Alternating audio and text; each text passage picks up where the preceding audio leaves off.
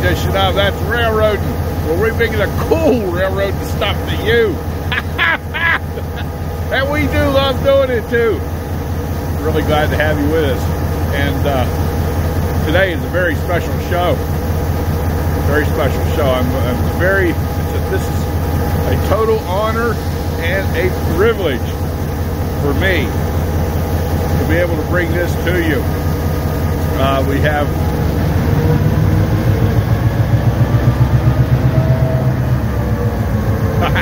dumping the train. Anyway, yeah, we have one of the world's four most experts that's come to visit today. Aha! Yeah, what this is a total honor and privilege for me, and uh, I'm going to introduce to you here uh, Mr. Gary Wolf. He's the author of several books. He has over 50 years of railroading experience. And uh, he's gone all over the world, investigated railroads. I'll tell you more about his book here in just a minute. I do want to say Mr. Wolf and I have become good friends. Uh, he actually watches my videos. Now, how cool is that? A world uh, expert watching my videos. That's how we met. But anyway, uh, yeah, Mr. Wolf has volunteered, graciously volunteered his time to come visit and make some videos with us for you guys to learn. And uh, when Mr. Wolf talks, he's like E.F. Hutton. When E.F. Hutton, Hutton talks, people listen. When Gary Wolf talks, people listen. And uh, so I hope you're enjoying today's show. Uh, we're going to get right into it here. And uh, thank you so much for tuning in. We're really, really fortunate to have Mr. Wolf here. Okay. That's railroad. I'm so looking forward to this.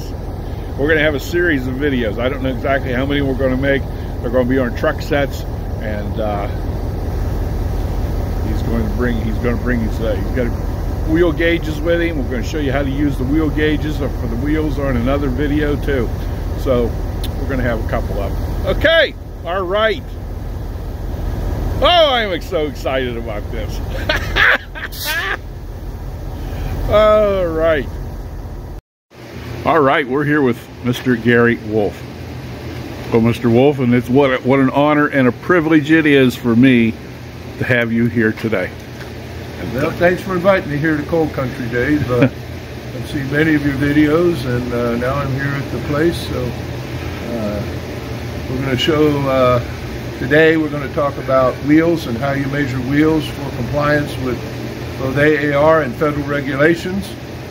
And then Neat. we're going to look at some various types of freight car trucks and show you the different types of trucks that are used uh, under coal cars, especially, and uh, other freight cars. So sounds wonderful. today for what a blessing to have you. Well, I'm proud to be share here. your and I want to say Mr. Wolf is here on his own time. He is not getting paid for this. He's he's here because uh, he loves railroading and he wants to share his some of his railroad knowledge with us. That's right. And that's just totally awesome. Yep. And I have to say this, Mr. Wolf. Uh, we had dinner with uh, Mr. Wolf yesterday last night Jan and I, and uh, and uh, I found out one thing: we have a world expert here, a world expert, and I'll, I'm not being facetious about that. He is. He's going all over the world. he's telling me all kind of really cool stories about that. But there's one thing I found out about this gentleman right here, and the best adjective to describe him is gracious. he is uh, some world experts. They're uppity, uppity, uppity. They're better than you. And I cannot say that at all about Mr. Wolf. And that's wonderful. You're a, you're a human being that cares about other people, and uh, there's not a what I want to say, but you know, it just really touched me. I was kind of intimidated what, to begin with, but he made me feel right at home, like I was his friend for years, and just awesome, an awesome gentleman the thing about it, Dave, what keeps me going at my advanced age is I, am still learning. and I may learn something here today. I don't know. Well, I'm and still learning too. And I can tell people if you quit learning, it's time to give up.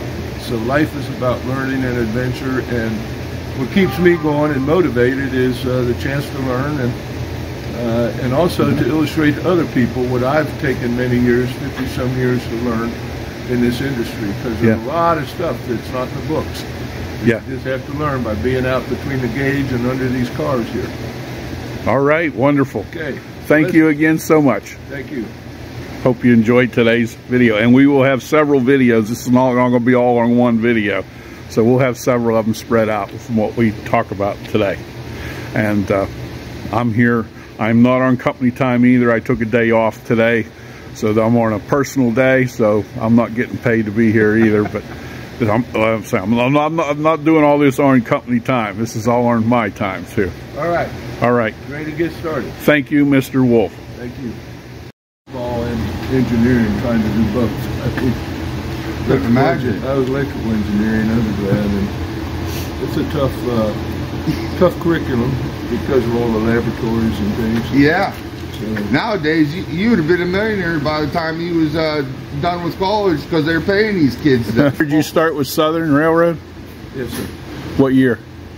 Uh, 1970 was 1970. June of 19, 1970. Wow, it's pretty cool. I started in mechanical engineering and then uh, went to industrial engineering and then uh, finally ended up in research. And that's when I started studying derailments in 1970 Uh-huh. or 1975. They started me on that. Well, what got you interested in that? Well, they called The- me in one day and asked me if I wanted this kind of new position that studied. There was some uh, research going on at the AAR called track train dynamics. Okay. and it was a way of getting back to the wheel rail interface, understanding the forces that go on in a moving wheel, Right. because uh, the federal government was kind of taking research toward passenger, and yet we were having several thousand freight derailments a year back back then, because we were introducing the hundred ton cars and nobody really knew the forces and things. So track train dynamics research was an effort to better understand the forces in the moving train, the curving forces.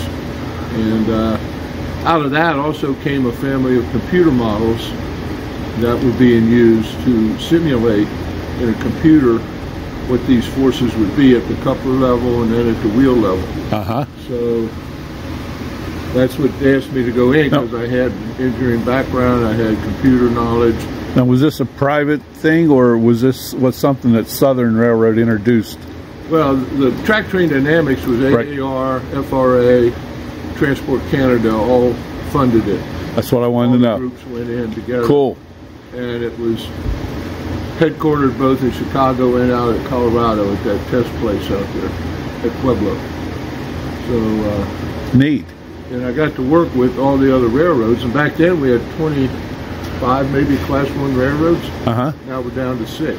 Yeah. know.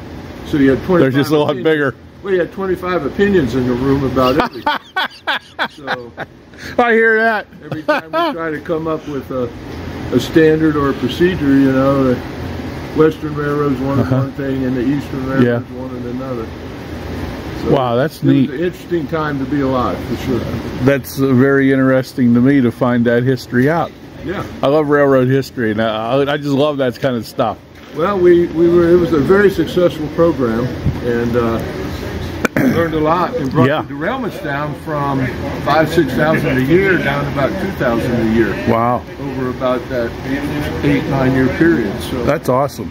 it was really uh, a good thing to be part of, you know, and to interact with the other railroads and Right. learn their problems as opposed to the Southern Railway problems. Of course, we were the leader, Southern Railway, the best. Um, Southern was a great railroad in its day. Well, we actually It was. have very low derailment rate. We had the safety awards every year, the Harriman Awards, and uh, we took derailments very seriously. And Yeah. that was fortunate for me because management wanted to know the cause of every derailment. So That's great. That's why they were a great railroad. That's right. Yes, sir. Gives a green light to innovation. That's the Southern. Here you go. Yeah. All right. Let's see what. Okay, we got a little commercial break here, and then we'll get right back to the show. This is the book that Mr. Wolf wrote, uh, the complete guide, field guide to modern derailment investigation. This book has over 430 pages, and each page about railroads, about cars and track, and uh, it's just chock full of information. Okay? Uh, I highly recommend it. I think every railroader uh, should have this book. Um, and if you're a uh, if you if you're a fan of trains, then and you want to you want to know what the nitty gritty and how things work out here on the railroad, this is the book to have. I'll tell you what, I've had my copy for over three years. I can't say enough uh, good things about this book. It's uh, on sale right now on Mr. Wolf's website and uh, a very reasonable price. For over 430 pages and each page in this book is just just uh, chock full of all kind of cool information. I mean this is comprehensive. Okay.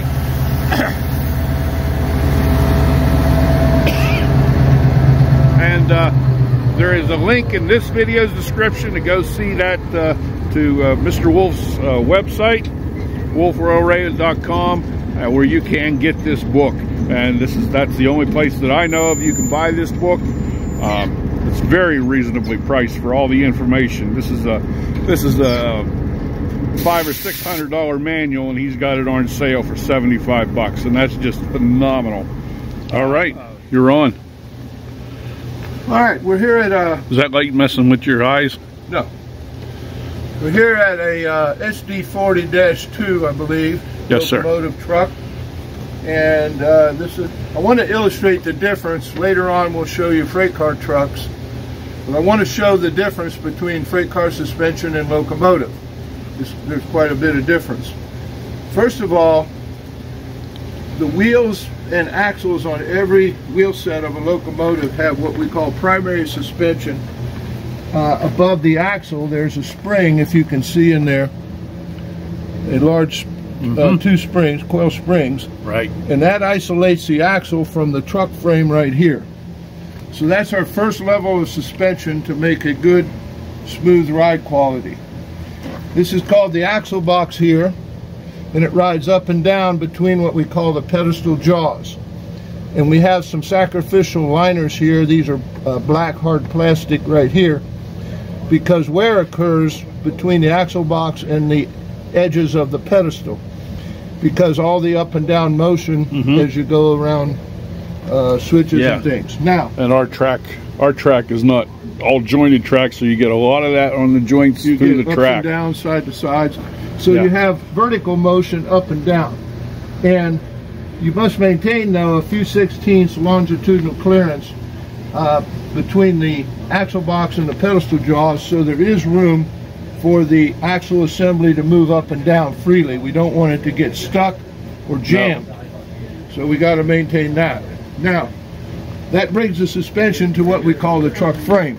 This is a large, very, very large steel casting. And if we go in here, I'll use my flashlight here. This large rubber sandwich spring is the secondary suspension. And you Okay. can see that the car body or the locomotive body rests up here and on the truck frame between this rubber spring. And there's several of them on every truck. And that further isolates the locomotive body from the truck frame itself. That's called the secondary suspension back in here. We also have side bearings here. Uh, yeah, right here.